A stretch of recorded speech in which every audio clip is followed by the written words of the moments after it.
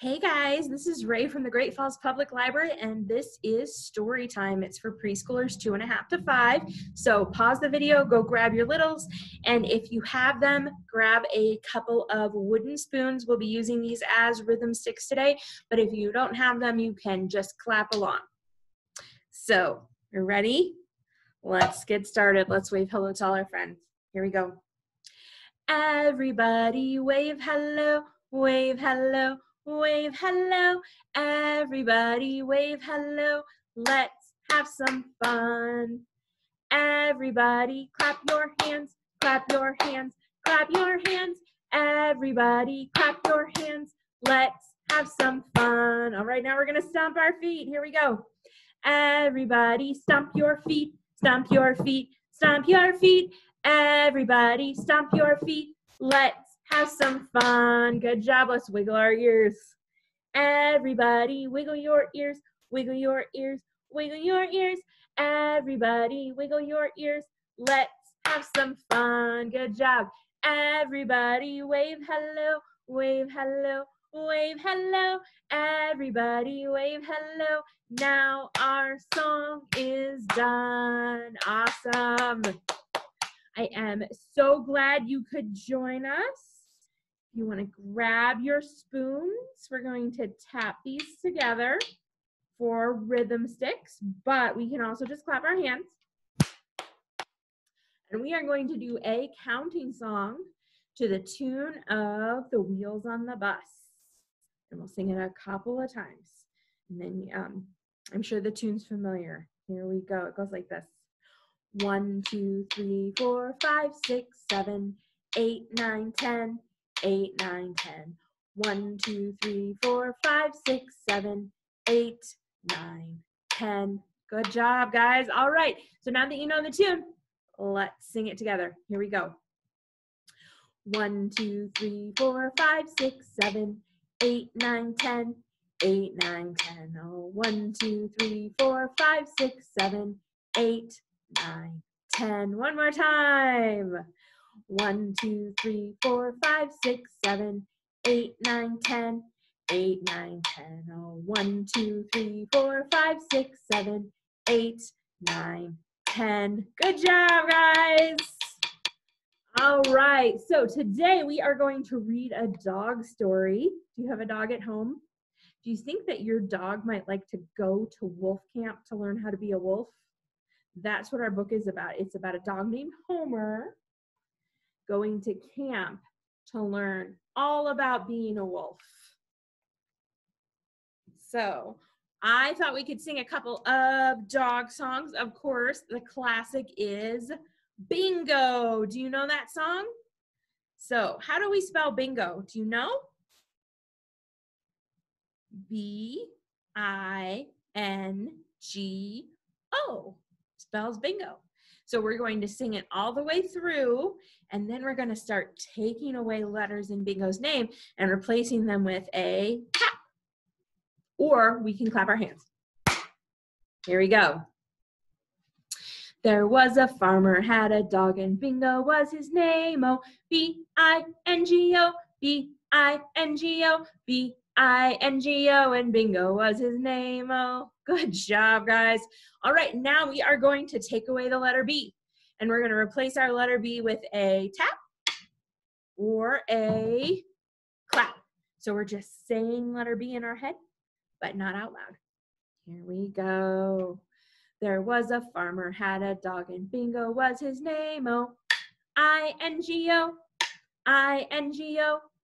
I-N-G-O and bingo was his name. Oh, good job, guys. All right, this time we're going to take away the B. And what, what comes next? The I. All right, here we go. There was a farmer, had a dog, and bingo was his name. Oh, N-G-O, N-G-O, N-G-O, and bingo was his name. Oh, good job, guys. All right, now we're going to take away the first three letters. B, I, and N. Here we go. There was a farmer, had a dog, and Bingo was his name. Oh, G-O, G-O, G-O and bingo was his name. Oh, good job. All right. Now we're going to take away all of the letters except the O at the end. So we're going to take away the B, the I, the N, and the G. And only the O we'll say out loud. The rest we're just going to say it in our heads. Here we go.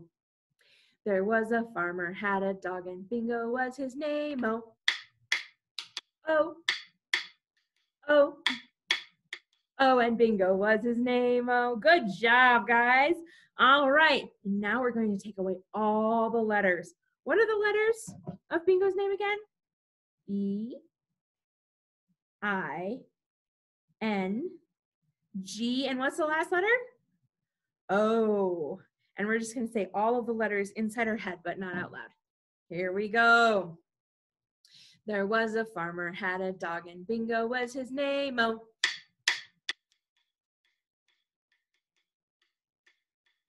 And Bingo was his name. Oh, good job, guys.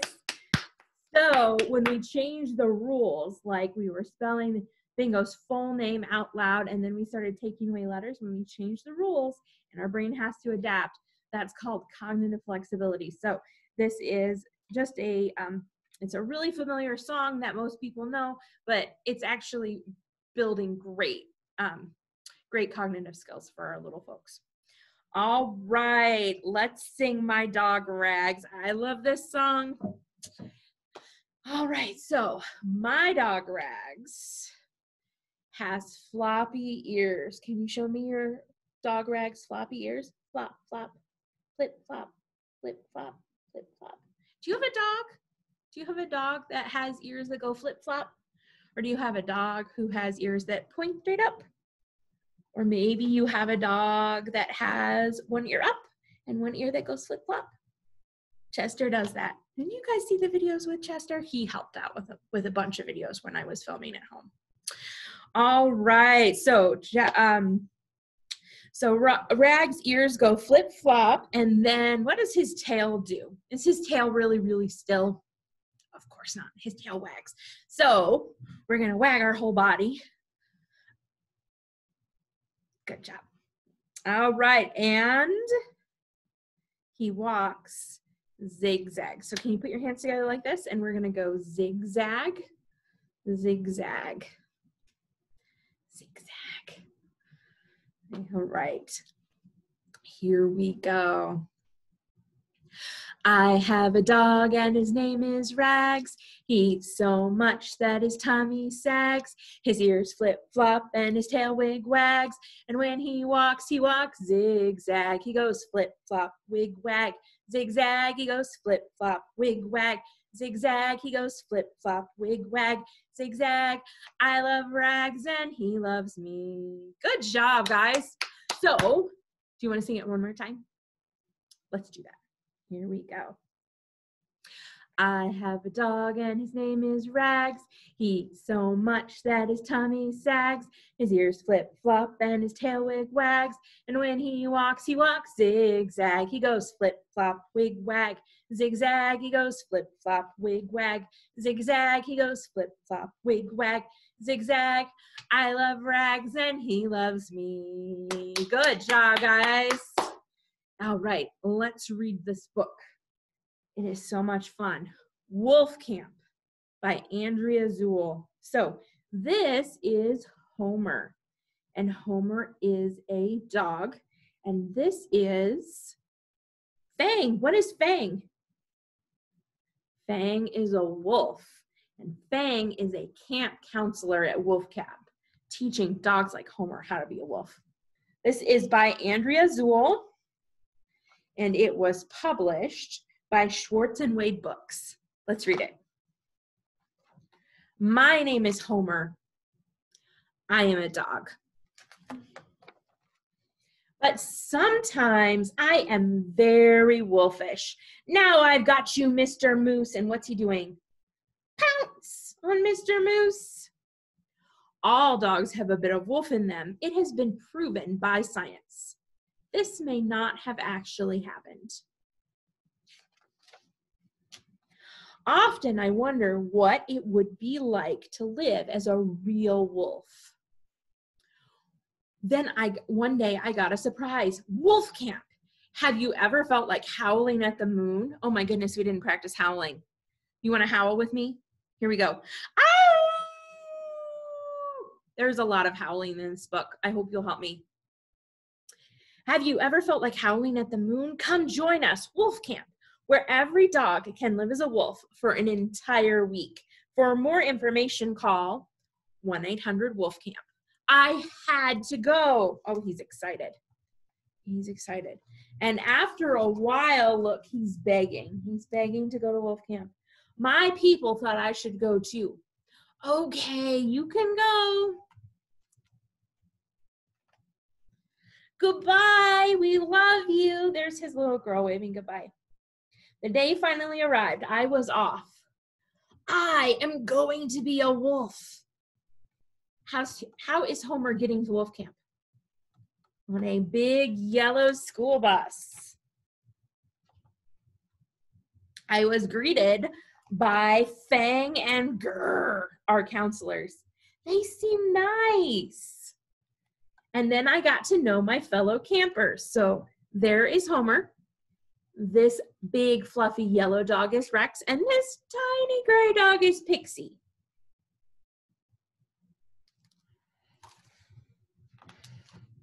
Fang gave us an important safety talk.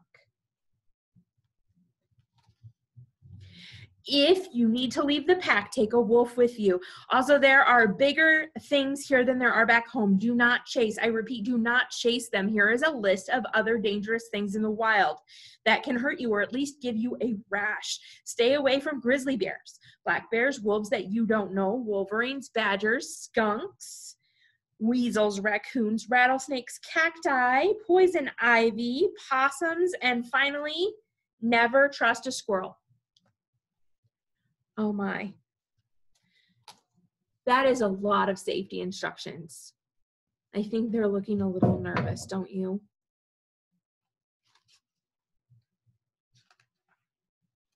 At last, we were ready to be real, real wolves. We marked and howled, ow, and tracked. Look, what's Rex saying?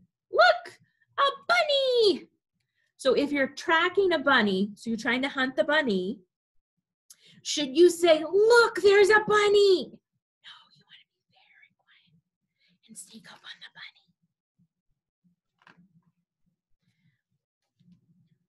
bunny. The big moment was here. It was time to hunt. Hey guys, wait up. Look, there's Fang and Grr. They're gonna go get it. Yikes. We're gonna eat that? Dinner tasted unusual. It's got hair on it. Hmm, what an interesting flavor. Before bed, I wrote a letter home. Dear people, how are you? I am fine. The food here is yucky and it has hair on it. Please send me some of Grandma Polly's pampered pooch doggy snacks, the bacon flavored ones. Also send my flea medicine because there are lots of bugs here and they are gross. Love Homer. And look, what's this? Yes, it's a smashed bug in the letter. Ew, gross. When it got dark, we found out how real wolves sleep. How do real wolves sleep? Do they sleep in doggy beds? They sleep outside on the ground. So over here's Fang, and Fang is saying, ow! But our dog friends are huddled in a pile. And I think, do you see how big their eyes are? I think they might be a little scared of the dark.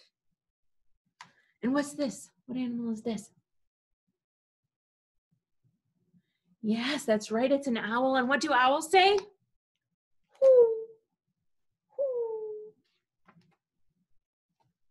Fortunately, with each day, we adjusted to life in the wild. Look at them. They're all howling. Ow! And we gained confidence. Do you see Pixie? There's Pixie. And she says, Let me go. I can take him. What can she take? What is that with the big antlers? A moose. Do you think that Pixie can hunt the moose? I don't think that's going to work because the moose is so big and Pixie is so little. By the end of camp, we were practically wolves. See, they have their certificates that say honorary wolf. And now it was time to, and now that it was time to leave, I was feeling a little sad, but I don't think anyone noticed. Do you think anyone noticed that Homer was sad? I think they might have noticed he was sad because he's crying. We howled one last time as a pack. Ow! And there is Rex and Pixie and Homer all back on the big yellow school bus to go back home. It was good to be home. Look, Homer missed his little girl. But I had changed. I was no longer plain old Homer. See, there's Homer back in his bed. I was an honorary wolf. And Homer, there's Homer. What does he say? Ow! Oh my goodness. The neighbors are so scared. What was that? I could have sworn I heard a wolf. And that is the end. So, I have a question for you. Do you think that you would like to go to wolf camp? Having read the book, we know what happens at wolf camp, right? So there's hunting, and there's food with hair on it, and there is sleeping on the ground, and lots of howling. So, does that sound like fun? Would you like to do it, or would you not like to do it? What are some reasons you would like to go to wolf camp, and what are some reasons you don't want to go to wolf camp? Okay. I hope that you enjoyed that story. I will um, get another video posted for you next week. Take care, everybody, and we will see you in the library. Bye bye.